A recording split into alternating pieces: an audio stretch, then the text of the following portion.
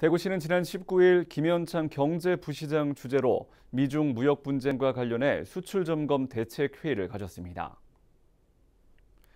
이날 회의 참석자들은 자동차 부품, 기계 등 지역의 주력 제품이 주로 미국과 중국 내수용인 만큼 미중 상호 관세 부과에 따른 단기적 영향이 제한적일 것으로 내다봤으며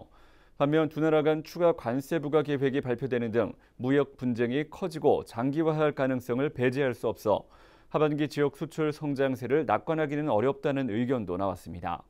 대구시는 미중 수출 의존도가 높은 수출 구조를 개선하고 수출 시장을 다변화하기 위해 하반기 인도와 동남아, 유럽 등 신흥 유망 지역을 중심으로 한 수출 환경 조성을 지원하는 한편 미중 무역 분쟁으로 인한 피해가 가시화하면 피해 기업에 신속히 자금을 지원키로 했습니다.